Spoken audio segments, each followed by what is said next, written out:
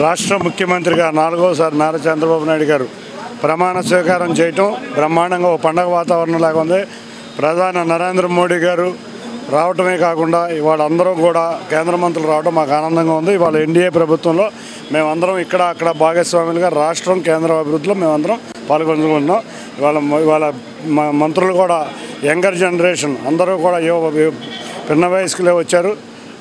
సమతుల్యంగా మంత్రివర్గం ఉంది ఆనందంగా ఉంది థ్యాంక్ యూ